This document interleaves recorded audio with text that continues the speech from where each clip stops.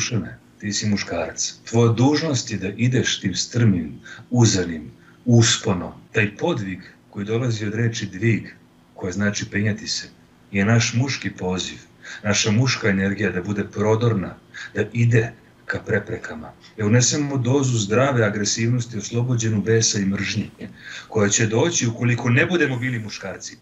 Današnji prosječan muškarac je ozlojeđen, pun jeda, pun gorčine. Zašto? Zato što je izdao samoga sebe, zato što nije muškarac, zato što ne radi ono što bi muškarac trebalo da radi.